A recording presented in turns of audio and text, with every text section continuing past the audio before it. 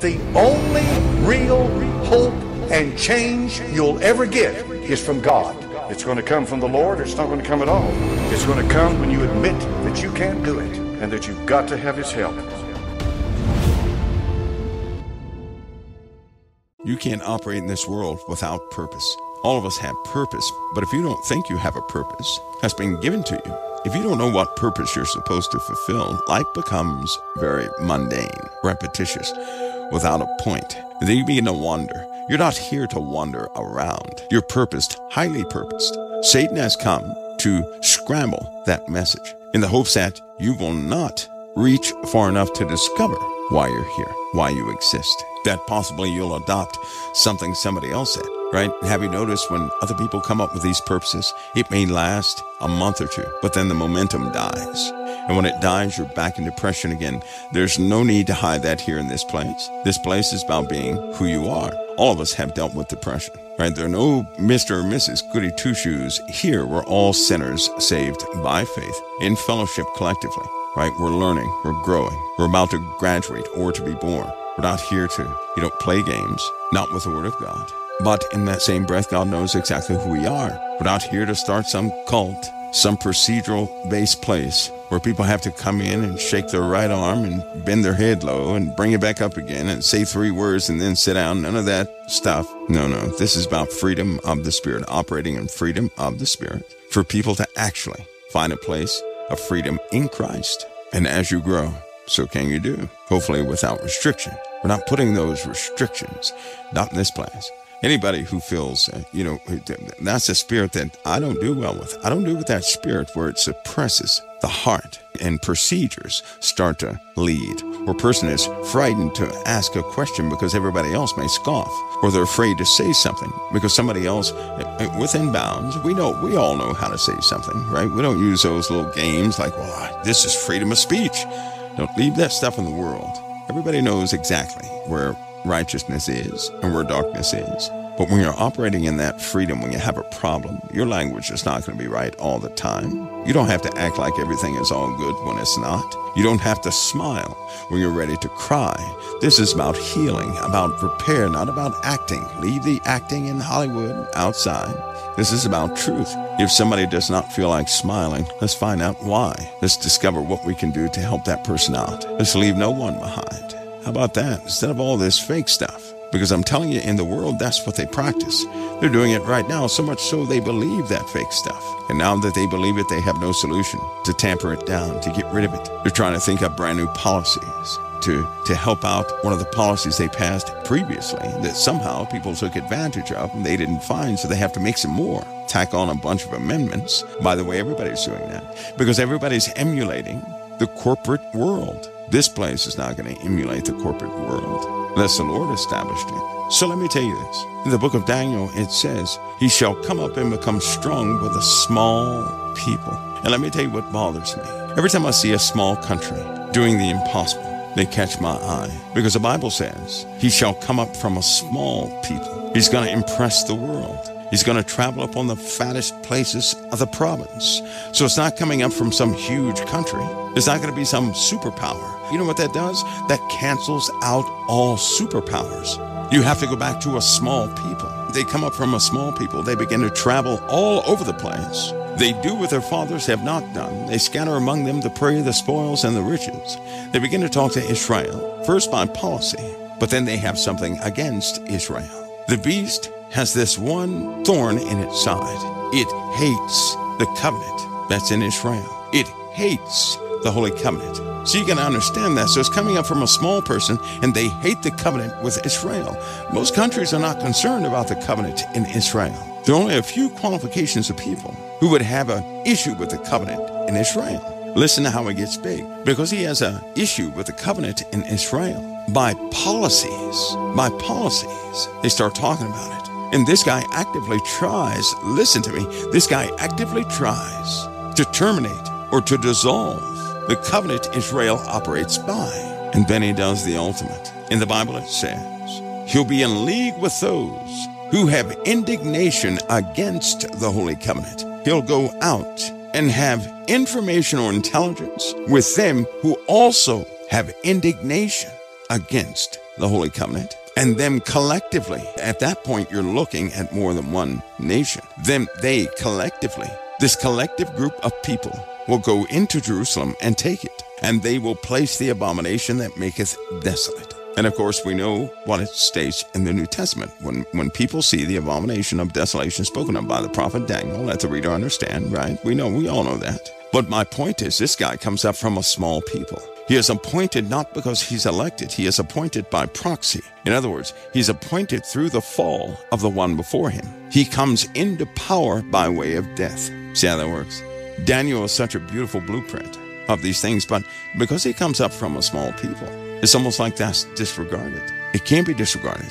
And he has indignation against the Holy Covenant. Indignation is a hatred that you have inside. And for a human being or some dark force, that's awful right? That means if it's in your heart, it's not something you just read about. You don't read about something and all of a sudden you have indignation. You have to be intimate with something to have indignation. Understand that word. Indignation is not a normal word. It's not some usual word. In order to have indignation, you must have understanding. You must have intimacy with the subject. And then and only then can you have indignation. That comes by way of wisdom, understanding, and knowledge about that subject. You have to be intimate with that subject. You have to really know about it. In other words, if you really know about a subject, about the Holy Covenant, what does that mean? What does it mean when you're intimate with the Holy Covenant, but you stand against it? That means you're in opposition to what the religion teaches. And it also means that you follow a different belief. You follow a different belief. Under a similar banner, you follow a different belief. So it really lets me know that this thing is not so external as you think. Now remember, first we talked about the guy. We're talking about the guy before whom three kings fell. What does that mean? If three kings fall before him, then he absorbs three nations. Those are provinces. That's what those are. Those three horns that fell before him, horns rule provinces. So if three horns fell before him, he takes over those provinces. See how that works? While people look at the big people, right, that you can hear them every day, right? You can hear them every day pointing out people. Well, they come from the wrong nation, number one. This guy comes from an insignificant place. It's insignificant at first, then it grows and it meets just about everybody in the province and it prospers and becomes rich. I mean, very rich. It becomes so rich to the point where it has leverage over the other nations to cause them to bend. All the while, this thing is increasing what it believes in with silver and gold, which means because this guy, now listen to me, it says he magnifies this thing. Remember, remember in Revelation it said, he told the world to make an image to the first beast. That's what the second beast said. Make an image to the first beast. What is the first beast? Well, if he said make an image to the first beast, then there are two beasts. Number one, and that word beast is used specifically by the living God and in prophecy. Why? Because whatever God makes, he has it named. If he makes an animal in the field, he names it. But a beast, a beast that has something continue to call a beast has no name. It has no designation. It is self-made. In Revelation, you'll note two beasts. You'll notice one of the beasts has seven heads. Anybody know what the seven heads are? One of the heads were, as it were, wounded to death, and upon those heads their horns, and their crowns upon those horns. Later on in Revelation, if you ever read Revelation from start to finish, Revelation tells you exactly what those heads are of the beast. It tells you exactly what the horns are, and it tells you exactly what the crowns are. It also tells you that those ten kings, which are the ten, right? Because a horn, listen, listen, a head is a nation or province. The Bible specifically says that the seven heads of the beast are the seven hills that surround Jerusalem. Well, what did God say in Matthew? Armies are encamped about Jerusalem. But I'll give you something else interesting. The seven hills, that word hill is very important. Do you know what a hill is? It's a place of power. That's why you have Mount Zion. Sanctuary of strength is Mount Zion. What is that? That's a place of power for God's people in Israel, Jerusalem. You see that? This to me now. That nation, that, that place, is a place of power, and it has an appointed, that appointed person over that power or position would be that horn. That's a position. What does it mean? A position can be held by multiple people. How do we know this? Because in the book of Daniel, this place of position that the beast actually held was held by three before him, but they all fell. Did you ever see that? How else do we know this? Because in Revelation, when it talks about Mystery Babylon, it says there was a woman that sat atop the beast, and on her forehead was written, Mystery Babylon, great mother of harlots. On her forehead was written, Mystery Babylon, great mother of harlots. And then it says, it gives you a description of the beast that she rode and how it hates her. It can't stand her. So I'll tell you something. If the beast, that beast being the same one that I spoke about, which was endowed with the powers and strength of the dragon, because in the Bible it says, and the dragon, talking about the beast, gave him his power, strength, and great authority, right? Satan gives all of what he has to the beast, the earthly beast. It even tells us where the beast came out of. It came out of the sea. Then in Revelation 17, it says, The sea are the many peoples and tongues and nations of the earth. So it came out of the people. So we know that the first beast of Revelation is a bunch of people. Well, what do you call a bunch of people in many different languages and many different tongues and all this, and the other? You call those nations. And when you get nations together, you have something like the UN, the EAU, right? You have places like that a consolidation of nations, which, by the way, some, some of these representations of these consolidation of nations is a fairly new idea. And if you look at the news carefully, you're going to start hearing a keyword, international order. Why?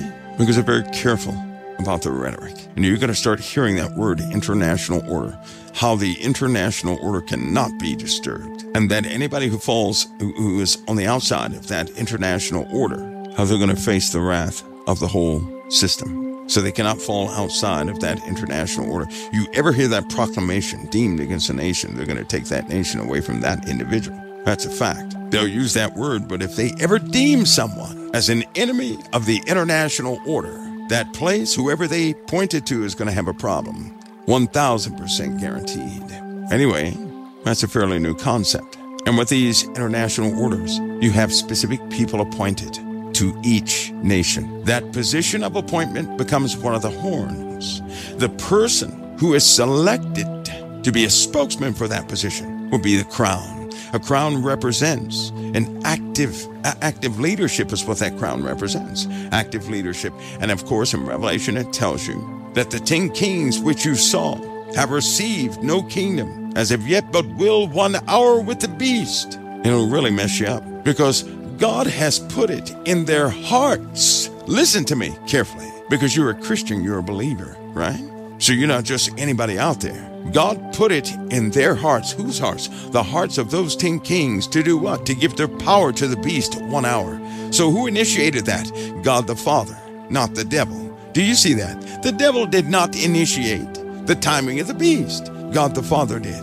He put it in the hearts of those 10 kings to give their power over to the beast one hour to accomplish the indignation, God's indignation, which is what? That's spoken about in the book of Jeremiah.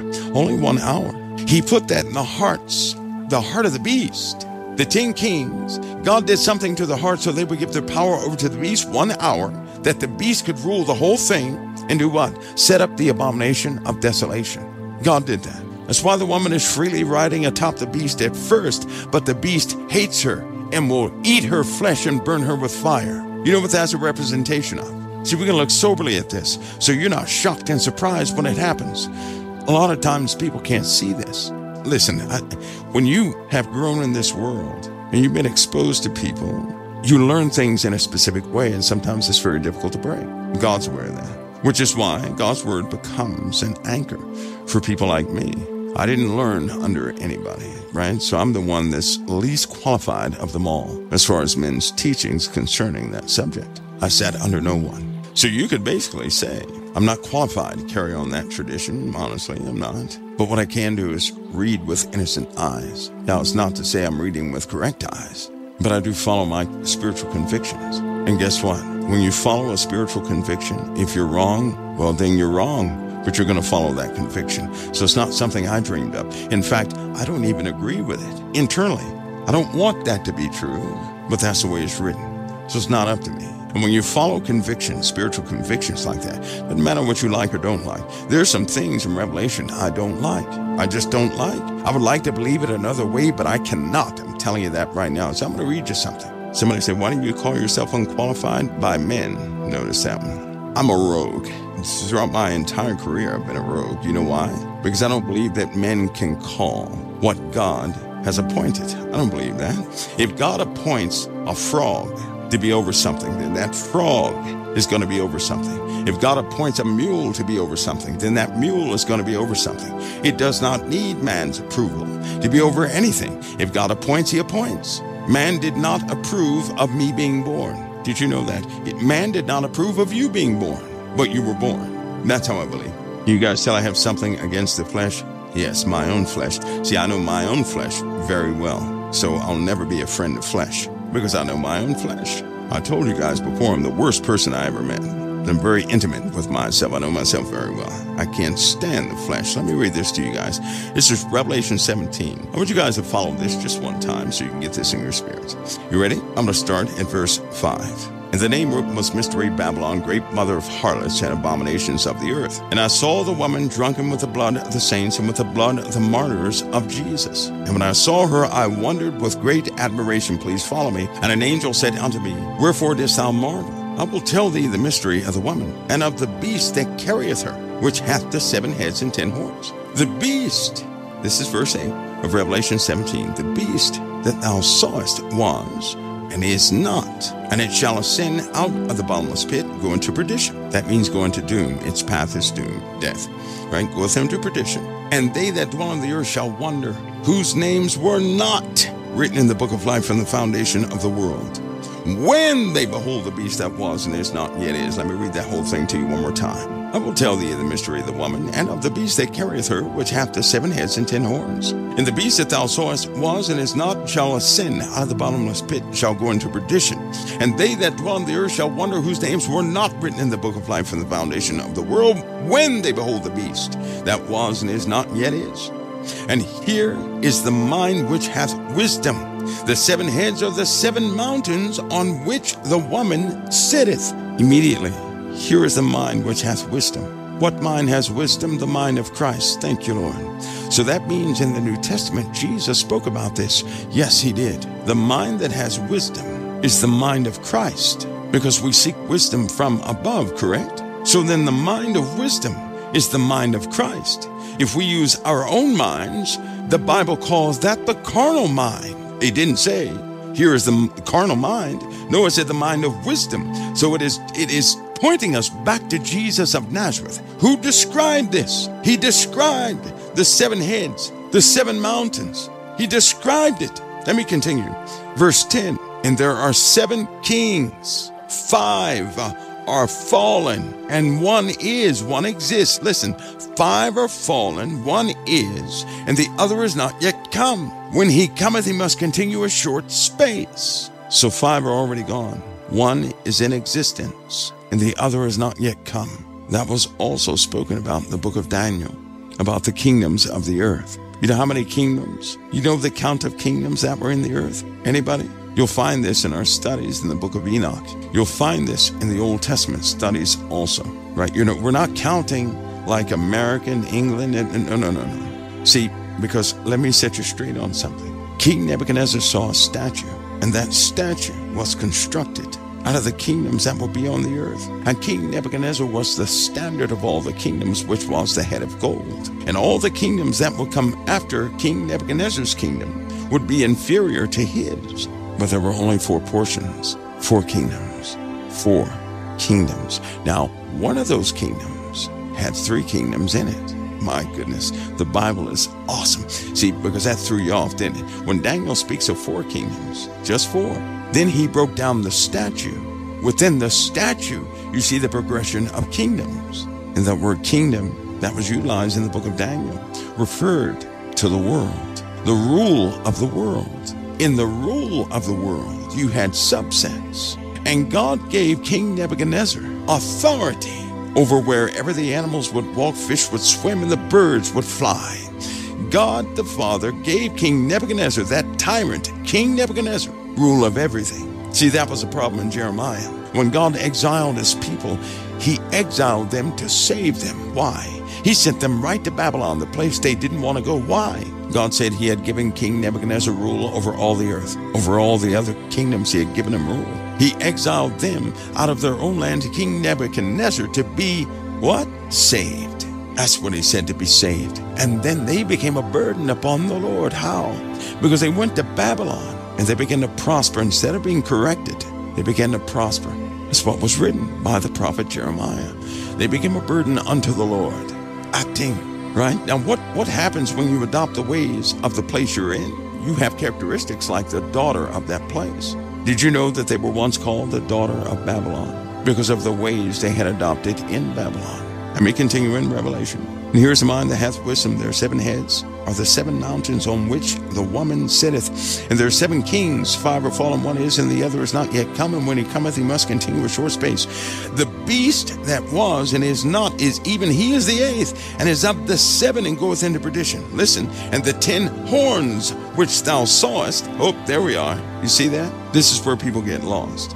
See, we were just talking about the mountains which are the seven heads of the beast. Five fallen, one is, and the other is not yet come. Those were the mountains, which in the book of Daniel he called kingdoms, but those kingdoms were the rule of the earth, four distinct rules of the earth. And in that, under that rule, were what we call kingdoms. I'm showing you the language here. Why this word kingdom has to be used in its context, or it's going to mean something different where you read it from. The seven heads are the seven mountains on which the woman sitteth, Revelation 9.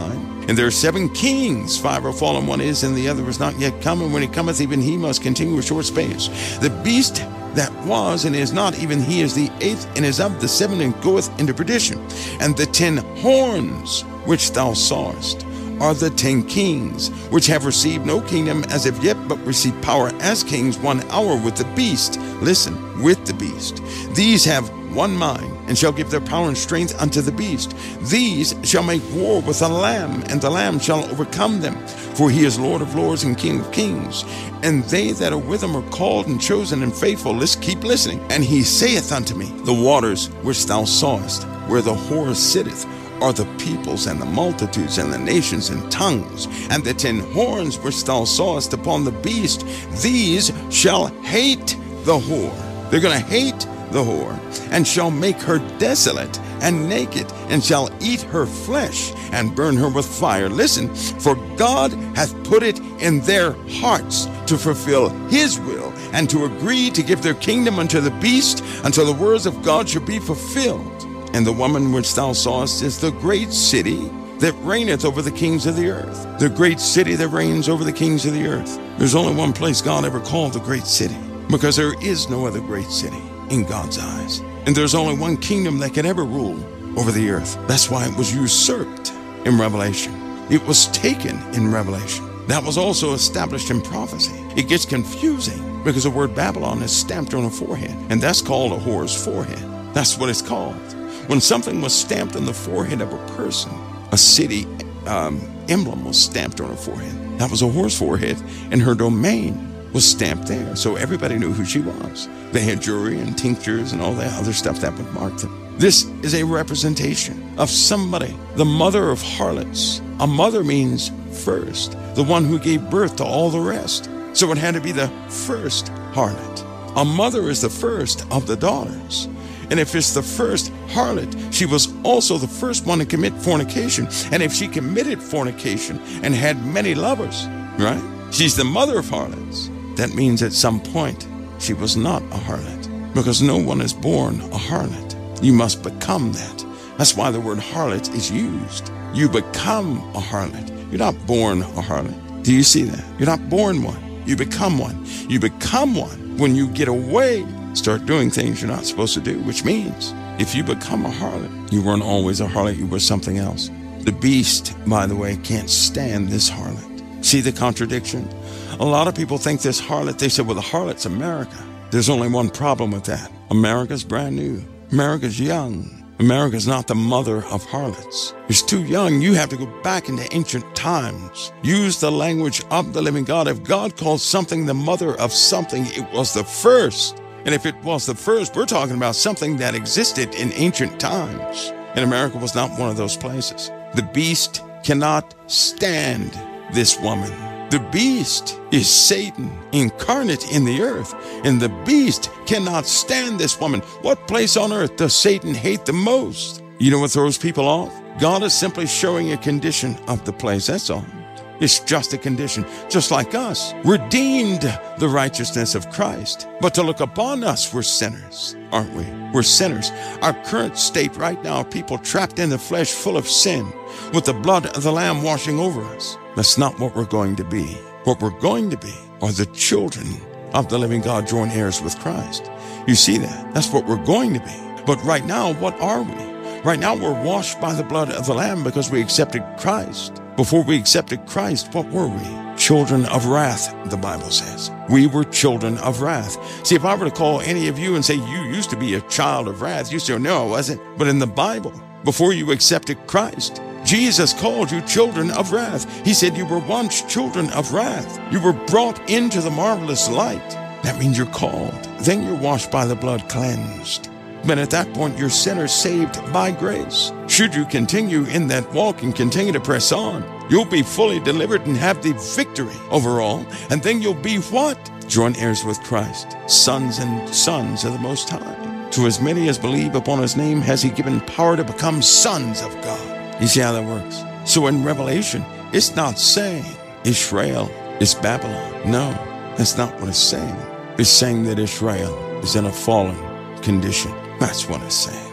Can you see that? God does not listen. What is the fallen condition of a place? It's called the old man. In this case, the woman. How about that? God is not going to redeem the old man of us. We're to die to our flesh daily. The old man is supposed to be buried. Every single one of you, you have an old man attached to you. That old man is what you used to be. And if it's buried, that means it still exists, but it's not walking today. You see that? God is simply showing us a state of His own land right now. Right now, He's showing us the state of it. And see, this is why it's confusing. Why in the world would God allow the trampling of Jerusalem underfoot for 40 and two months? For the purpose of the indignation. All of this harlotry that's been in Israel, and if you don't believe God would ever say that she was full of harlotry, read Jeremiah chapter 4. Let me read that to you real quick. Can I read that to you real quick? Chapter 4. If thou wilt return, O Israel, saith the Lord, return unto me, and if thou wilt put away thine abominations out of my sight, then shalt thou not remove. Then you won't be removed. You won't be exiled. Nothing will happen to you. And it says, And thou shalt swear the Lord liveth in truth, in judgment, and in righteousness. And the nations shall bless themselves in him, and in him shall they glory. Did you hear that? If Israel would have returned at that time. Listen, that means if they would have gotten it right with the living God at that time, God would have healed the entire earth. Because what happened? They did not, and something happened to the earth. See, through Israel, if Israel were to turn back to the living God at that time, the earth would have been healed. But Israel did not turn back to the living God in that time, and the world was not healed it suffered even more. What does that mean? That means by way of Israel, this earth could have been very different. And if earth can be different because of one entity, then that entity is doing what? Ruling and reigning over her. Do you see that? Just like God put you in a specific land. And He said, If my people who are called by my name, if they would turn from their wicked ways, turn back to the living God, then He would hear from heaven and do what? Heal the land. So who's the ruler? or who reigns over your respective countries? The believers of Christ do, not the leadership, not even the people, but the believers in Christ do. If the believers in Christ would humble themselves, if they would turn back to the living God and pray, then God would hear from heaven, and whatever land they're in, He would heal that land. But they have to do that collectively. So collectively, you rule and reign over the nation you're in because you determine if it rises, if it falls. Would it be more biblically accurate if it's maimed or if it's healed? Through you, God would heal the land. He promised no other way to heal a land than through his children, through his own people. Do you know that? And haven't you seen the relationship between the iniquity of people and when God's children become weak at heart, then the lands suffer because evil rises. And when evil rises, things tear themselves to pieces. The people have no chance. You rule and reign spiritually over the places you're in. And guess what happens when you're not praying? The principalities and powers and wickedness and spiritual, those things are ruling all over the place. When you stand up, they've got to back up. But if you don't stand up, then you're just giving them free reign over whatever country you're in. That's why In the Bible, it says, That day shall not come, unless it come a falling away first, and that man of perdition be revealed. Those things cannot occupy where the Holy Spirit is, and wherever you are, the Holy Spirit is. You're the one that makes a difference. That's why things are degrading. More and more people are walking away. Do you know that? They're walking away from their faith. They're being swayed to do other things with other methods. Let me continue here. So, wait a minute. The Lord spoke all this and he told them to circumcise yourselves, said the Lord, and take away the foreskins of your heart, ye men of Judah, and the inhabitants of Jerusalem, lest my fury come forth like fire, and burn that none can quench, because of your evil doings. He kept telling them in the book of Jeremiah about your evil doings, and then he made a declaration. He said, My indignation, my indignation is against you, and it will not be quenched. It'll be fulfilled. He said, Nothing will remove that. That's the trampling of Jerusalem for 40 and two months. That's, that's the trampling of that revelation. What would happen if you guys, in the next three and a half weeks, you saw a collection of nations run into Jerusalem and start slaughtering people? By the way, who would have a heart to slaughter people? Let me let me give you a uh, eye opener here. With this Russia Ukraine situation, do you guys understand what's about to happen? Do you really understand where you're at? Let, let me tell you exactly where you're at. You can take it or leave it. The Ukraine is not going to stop bragging about its small victories. They're going to continue to publicly denounce Putin. They're going to do that. The USA is going to cross three red lines within a week. One will be crossed. Once the one is crossed, four days after that, another one will be crossed. Once that one is crossed, about one week later, another one will be crossed. That's three red lines will be crossed. Putin is going to be enraged. He is not enraged yet. Putin is not whistling Dixie. He can do exactly what he says he will do. If they continue to provoke, he's going to give the world a reminder. And that's going to happen very quick. See, because listen to me, what you saw on television of him taking out a couple of places, and yes, civilians were hurt. Because that was a Navy, that was a naval operation from ships that were very far away. As soon as those guided munitions hit the land, the Ukrainian scuttle system will distort some of the navigation of those missiles. They won't tell that part. In other words, if you scramble the missiles, you make them go off target, they're still going to impact, but they go off target. They did intercept some. They did intercept some. The rest went off target. But when you send them off target, they're going to hit in places they shouldn't hit.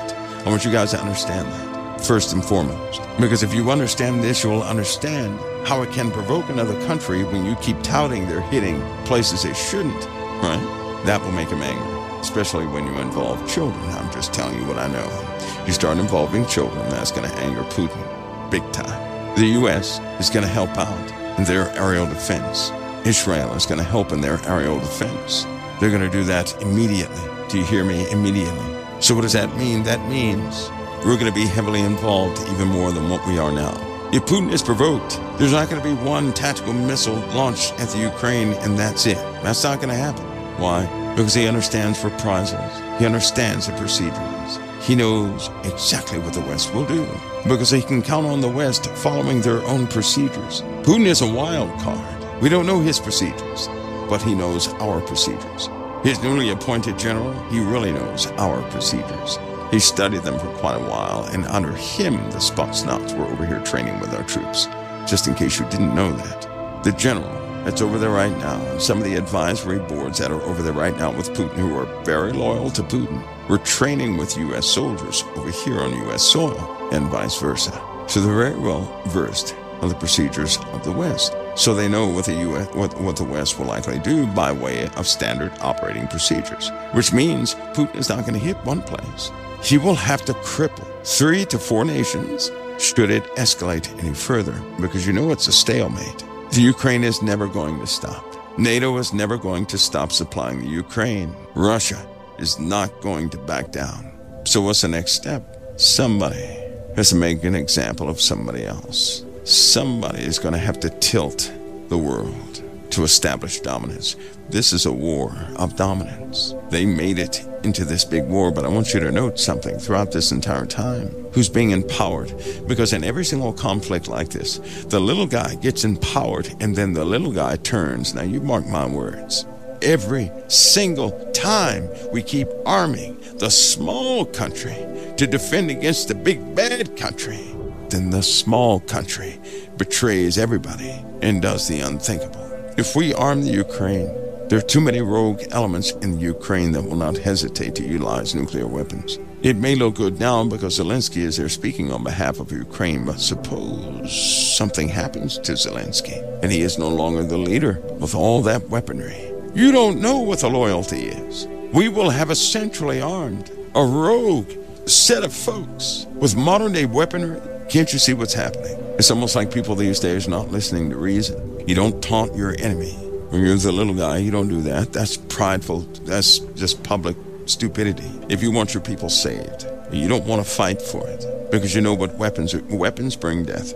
It really is time to negotiate. Somebody's not going to look good in the public's eye, but people can live their lives, correct? You taunt your enemy who is much bigger than you, and then you have other people do it with you. That's provocation. And you know what the Lord says? The Lord taught us something. He said, Don't provoke your children to wrath. That's what he said. Don't provoke your children to wrath. You know, that's almost like saying when somebody is lesser than you, or if they can't quite catch on, you don't provoke them to wrath. You don't encourage them to fight you by your provocation. You don't do that. When you taunt your adversary, you're provoking them. I can tell you right now, knowing Putin and how he operates, can't you see that he made a declaration, right, of those four provinces that they were his? And when they did, when they did that to that bridge, did you notice well, they won't release the real count of missiles. They're saying that, you know, half were taken out. There weren't that many missiles launched. There honestly weren't. The targets, of course, the missiles go all over the place because of jamming that takes place in Ukraine. I hate it because civilians shouldn't have to pay the price for the stupidity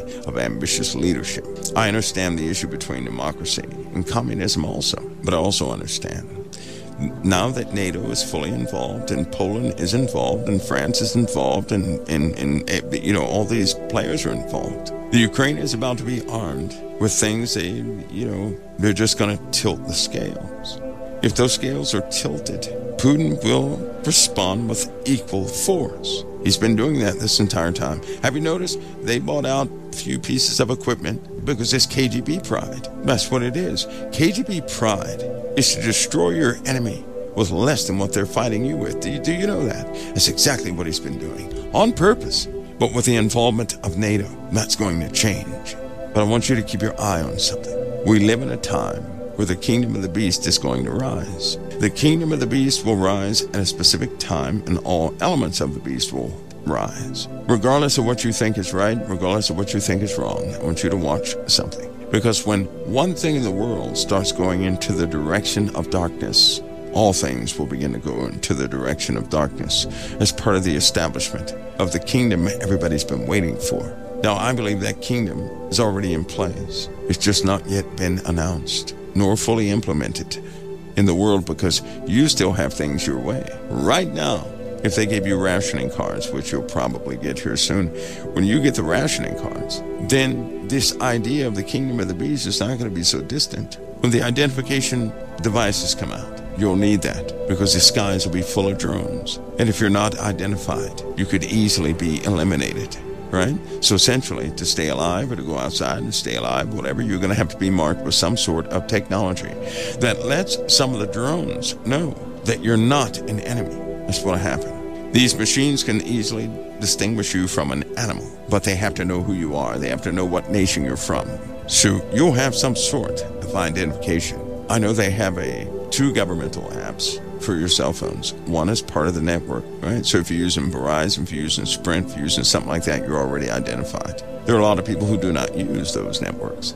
So if you understand this, I, you know, I had to say it that way, that you have to have some sort of identification because most people say, oh, well, I'm not getting a bracelet. Too bad. You already have a phone and you're utilizing services you didn't invent. And the identification for that phone is through those services. Your ident is going through that phone all the time. So wherever you go, wherever that phone is, you've been ID'd. And we're talking about by Aerocraft. That was implemented three years ago. Not one year ago, not this year, three years ago. And we're talking about a very special database. You guys remember the NSA, all that talk about the NSA, and then Edward Snowden went and fled the USA, and then all of a sudden all the trouble went with him. That remember WikiLeaks and all this stuff, and how all that went away, and nobody ever talked about it again. Oh, they did that beautifully because nobody ever talks about WikiLeaks. Nobody ever talks about Edward Snowden, who told people the truth. The only part he didn't tell you was that machines were responsible for absolutely IDing you perfectly. That's the only thing he didn't tell you.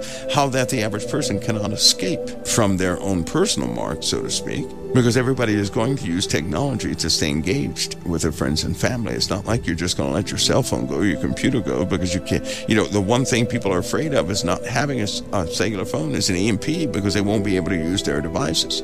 Did you know if an EMP actually hit, our defense net would fail in the same moment? But it would take more than an EMP to cause our defense net to fail. It would take much more than an EMP to knock out your cell phone. Do you know that we've had three CMEs that could not knock out the satellites that control your cell phones? You didn't know that, did you? They were supposed to. If these were, you know, older generation satellites, they would have been knocked out a couple of years ago, but they weren't. Some have taken some direct hits. Some have gone over safe temps and everything else. They're still working.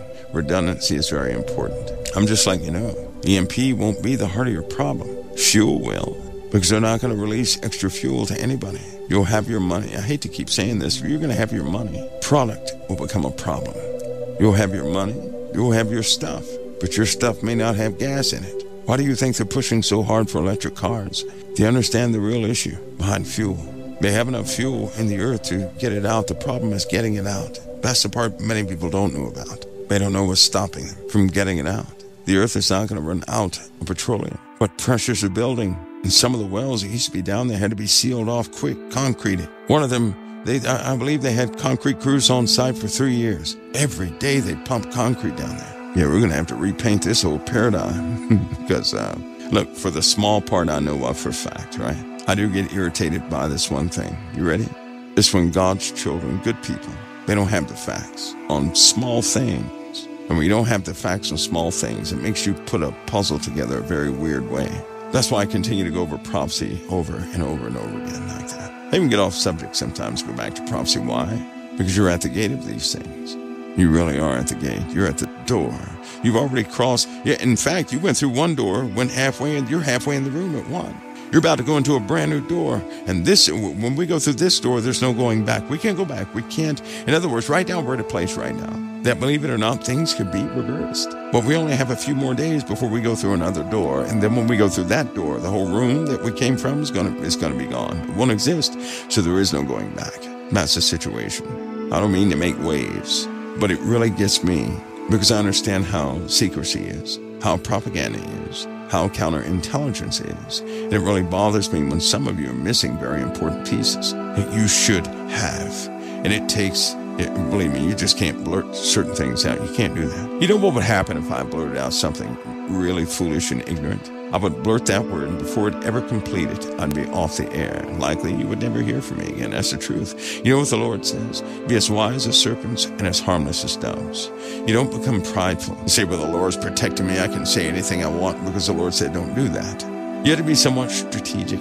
Now, God will cover every area I'm not aware of, but I have to be responsible in those areas I know about. Because believe me when I tell you, they're just, you know, sometimes when you become a pinprick in somebody for a long time. They just wait for the opportunity for you to get off your game a little bit. And, and that's, that's always going to be there. But I'm telling you, the Bible tells us everything. The Bible didn't miss a thing. The problem with us is because in the word it says the word must be discerned spiritually. And i really i really believe that sometimes we disregard that. And we really shouldn't. I personally believe that god has given you guys the truth. But it's hard for you to believe the truth when you understand the ways of men, when you understand what your professors said, when you understand what you were taught in high school, when you understand, you have an understanding based on your experience only. That's very difficult to deal with. Because that's called reality. That's your reality here on earth. Your experience is reality, right? It's very difficult to compete with that. But the Lord will help us out. You may not know this, but even now, we have a problem brewing right? Now, if this problem breaks, and this is not a man made problem, if this problem breaks, it's going to help quite a few of you out. It'll take the limitations off. You'll say, well, what that professor said doesn't work on this one. That means you'll consider the Word of God more, which means things will open up. Believe it or not, sometimes through our own academia, we can have chains on us where we can't believe anything else. We can't really see clearly. At the time you're in right now, what did God say in the Bible about the end days? About how you see? What did He say? He said that you would see. That's what He said. In fact, He said you would see. You would see. He kept using that term. You will see this. You will see that. You will know this, and you will know that. You will hear this, and you will hear that. Doesn't he say that prophecy? What does that mean? You're going to have a full awareness. You're going to have comprehension, but you must know portions of the word to apply it. You're going to hear it. You're going to hear those things God said you will hear. You're going to see those things God said you will see. You're going to experience those things God said you will experience. You're going to face those things He said you will face. All too often, only when reality breaks down will one consider reality is not the answer to all things. So that means portions of reality must break in front of your faces so that you will understand portions of the spiritual realm that are causing you limitations. God knows how we're raised and what it's going to take for us to fully open up and have use that full measure of faith. He knows he's going to have to break a perception and trust in this reality. That means you're going to be presented with things you cannot explain. That's not for you to go and print an article about it. That's not what that's for. In fact, if you were to see something really odd and strange, don't go spreading it all over the place. Consider the Word of God. That was for you. It wasn't for everybody. Everybody will eventually see what is needed for them to see, a truth for them to know, to open up their eyes spiritually.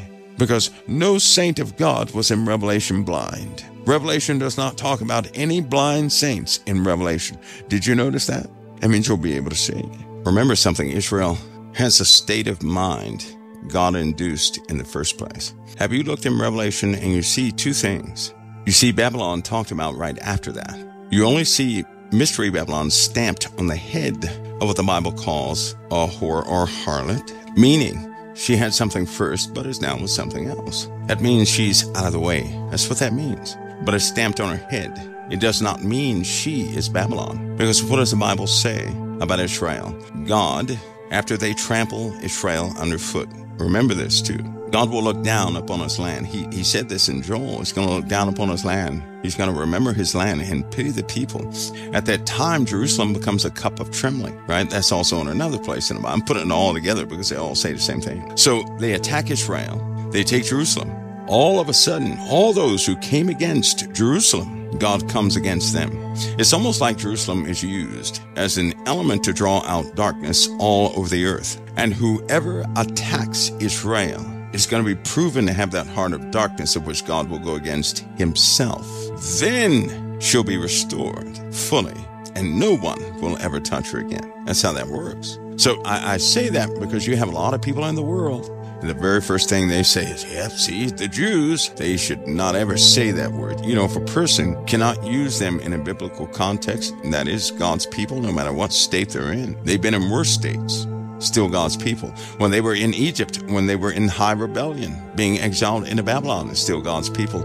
God cares about his people. And in fact, he is distributing the power of the holy people all over the earth. And he comes back when that is complete. That's still God's people. We are grafted into the branch they suffer a blindness induced by the living God. That's what the Bible teaches.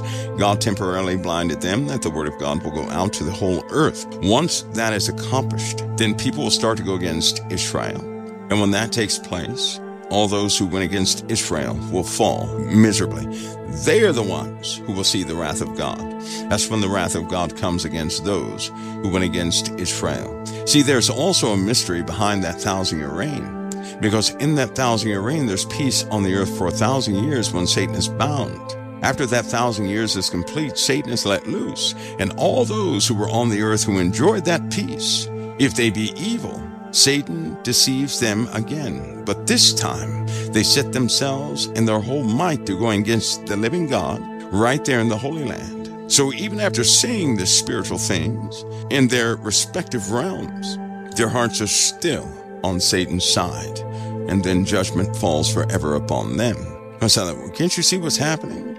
God does this every single time. He'll utilize his righteous ones in the earth to identify who's really dark and who's not. Isn't that something? All the time he does this. All the time. Because if darkness was ever prejudged, just like a murderer, if, a, if somebody went to Hitler when Hitler was age 10, Hitler would say, I would never do that. But he did.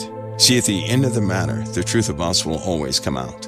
At the end of the matter, not the beginning, not in the middle, but at the end, the truth of us will come out. Always. It always happens this way. And if you can remember that, I'm telling you right now, that, that one principle is universal for all things in the earth. I use that every single day. I never think of, a, think of anything about a person in the beginning, in the middle, because I know at the end that time of proving will come. And when that time comes, it will show me exactly who they are, which is also why I never trust anybody, right? Let, let, let me qualify this. I can never say I really know someone until I've seen all sides of I have to know what your capabilities are. I know you everybody has bad capabilities.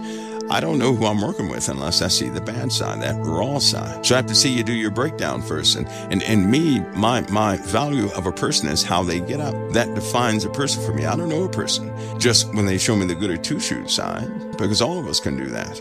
But when you see that raw, broken down person, Uh, it's a different one. That's when you really know a person. When the name of Jesus means something to you, that means you really believe the story. You really believe he went through anguish and died just for you. So then that name is almost like a monument, like power within itself because it represents Christ, the only one, the perfect sacrifice of first and many brethren, right? Who died on the cross, taking all sins upon himself.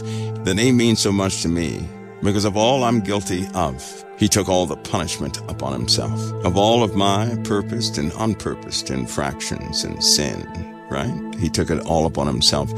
He took my sins upon himself. He didn't just write it out. No, he paid the price. There's a difference. If somebody were to come up and say, Mike, your sins are wiped away, have a good day. Okay, that's one thing. But when somebody takes your place and says, okay, you don't have to go to jail for the rest of your life. I'm going to go ahead and take your life sentence. What? That changes everything. If somebody was convicted of a murder, and uh, somebody came up and had words with the judge and they said, okay, you know, we're going to throw out this case. That's one thing. The person may smile and walk out, right? They'd be, oh, okay, oh, great. When a person comes up, and of course that wouldn't be permitted, but if they came up and said, I'm going to take your place, I'm going to go to jail for you, you go free, that would mess a person up. Can you imagine a person if they if they knew they were guilty of the crime, nobody wants to go to jail. But if they were guilty of the crime and somebody came up and said, I'm gonna take your place, that would mess that person up. Having your sent having your your, your case thrown out in court is one thing. Somebody taking your place is different. Because one of the first things you might say, no, no, you're not. No, you don't deserve. And suppose it was a good person who came up and took the place of a murderer in jail that murderer would likely say, No, no, you're not doing that. Do you know why? Because it's a good person, a person who committed no sin, no error, no murder, no nothing. And yet they take on the punishment of those who committed the sin, the murder, or whatever the case is. That's very different. And see, to me, Christ took my place. I know me. And if you're acquainted with yourself, you know yourself too. You know exactly what you've done. I know what I've done. For Jesus to take my place, it's almost like this uh, hole forms within you that the flesh can hardly bear. Because the first question you have is, why would you do that? Don't do that for me. To this, to this very day, there's no way I could watch a movie where Jesus was being crucified because it brings it up like, like I went through some trauma because that is traumatic to me. And because it's so traumatic, there's no way I would use his name for an empty reason because that name means everything. You see the difference? That means I believe what the name stands for. Believe the person behind the name, the act that he did, and I'm well acquainted with his sacrifice. Not just to say he wiped away my sins, smile, and go on. No, he took my place. And when you're thinking about that, I'll tell you something else that happened because the more you think about that, that problem, that this issue, this sin in your life that you can't quite get beyond, that's when you find the strength because I'll tell you that when you really give this thought, it's going to do something to your heart, your desire, to continue as you want to continue will cease. It will cease when you give that serious consideration. Those desires that you've been praying to get rid of, they're going to go. They cannot stay. The brokenness of your heart for that act in truth. There's no darkness that can stand a place like that. That's when you really believe. You really believe when you really know that story. You're well acquainted with yourself, and to know that Jesus took your place, not just simply wiping it out, but He took your place. He satisfied the sentence that was against you. That changes everything, does it not? See, most people are taught that your sins are wiped away, yes, but they go no deeper. The depth of that is Jesus took your place. He served your sentence in full. If he paid the price, you better believe it was a price indeed. And the Bible teaches us that you're bought with a price, and that was a very high price that cost him everything. When you think of that upon yourselves, and you really reflect upon your life, and you give yourself no excuses for what you did, you're just simply honest. It's heartbreaking. You're thankful, but you're broken at the same time. When you believe like that, that's when you start gaining strength to overcome much darkness. All the influence in the there's nothing in the world that can compare, nor can overcome the heart of someone who considers that and truly accepts that. And to believe upon that name is to know that story. That's when that name has great meaning. That's when that name is no longer spoken as a punchline. That's when no jokes are said about it. But when you mention that name, everything in existence around you hears it. That's when you stop speaking it as a word and it exits your mouth as power. That's when your authority is recognized within you and everything in the spiritual realm knows exactly who you are. That's absolute acceptance. You having night terrors? Then think about that and just simply watch what happens by your sheer acceptance. When I gave it serious consideration, really thought about that, do you know what happened? The whole nature of everything changed within me. The impossible became possible. We're not talking about some supernatural thing, except certain desires that I thought would never leave. They couldn't stay. Certain influences could no longer even be around me. Situations, not one was stagnant. But it's so easy to forget people, right? It's so easy to forget. It's so easy not to remember that. Most of you know this. But let me ask you this when's the last time you sat down and really considered that? You see what I'm saying? We know there are gaps of time in our thoughts, and sometimes we will naturally think, hey, I already understand that, no need for me to give it thought. We just simply don't think about it until someone evokes it, like tonight. And then you think about that again. That's when the nature of your prayers, they change. I was healed when I thought of that. I was. I didn't even ask for it. I was healed. I didn't even recognize I was healed until about five or six days later. I was healed because at that moment, to even think that Christ paid the price for me is a, is a pretty deep thought. You know, people can minimize that all they want. It's a very deep thought. And when Christ paid the price for me, in my own mind and in my heart, I said, how do I deserve healing? When he endured so much more for all of what I've done. And it caused me to think about my life. Listen to me. When I thought about my life, I was so thankful. The more I thought about my life, the more praise that came. The, I was just highly thankful for Christ. You know how sometimes you're not really thankful about anything. You just want out of the problem. Somebody knows what I'm talking about. Sometimes you try to be thankful, but sometimes your heart is so shredded. You can't even get in that place where you're truly thankful about anything. You love the Lord. You just want your problem to end. Listen to me. Give it thought of what Christ actually did for you. Give it thought that he took your place. That eternity you would have spent away from the Father, that's been satisfied through Christ. We don't know what he did. We don't know what he did for each of us. I said, you know what? I proposed something one time because we don't know. I said, what if for each one of us, he did spend an eternity in hell for each one of us?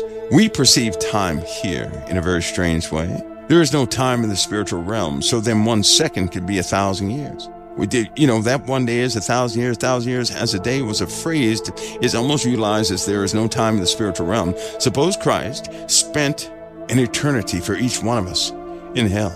Suppose that at the cross, instead of those stripes being for one person, he felt the weight of billions upon billions upon billions, and he endured it. Sometimes we do think two dimensionally, don't we? If the Bible says he paid the price, he didn't take a shortcut, did he? Jesus never took shortcuts. If he gave us the fullness of his truth, I suspect he paid the fullness in that price. He satisfied the first truth and the first judgment. And he took that upon himself, taking our place so that we could live. You don't know how long Christ suffered for you. I don't know how long he suffered for me, but I suspect that eternity is just a word and we have no idea of the depth of his suffering for each of us. Knowing he never sinned. The Bible says he was tempted in all points as we are, but without sin. Knowing that, it kind of steals the appetite away from all sin, doesn't it? And there are places in the Bible where a person has the Holy Spirit and they go out and commit an infraction and they can't commit to crucifying Christ again. That means because they have tasted of the powers of the world to come, partakers of the heavenly gift, they know exactly how long Christ has suffered. And they, it's so bad, they can't even crucify him again. Listen to me. They can't put him through that process again, so they just give up the ghost. When you read in the Bible again about those who had the Holy Spirit, like Ananias and Sapphira, and they died because of they tried to hold back some some some uh, something from the Holy Ghost, and they defrauded the Holy Spirit. They gave up the ghost. God didn't kill them. They couldn't commit to crucifying Christ again for the sake of that new sin, and so they gave up the ghost. So they had intimate knowledge of his sufferings. Just imagine something. If you had that insight, this comes by way of the Holy Spirit. When you have that insight, how could you go out and sin again, knowing that Christ will go through that over again?